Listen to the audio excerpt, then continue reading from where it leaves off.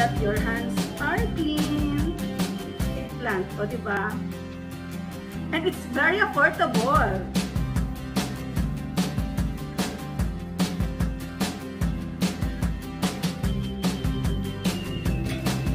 So just cut the spring onion into small pieces.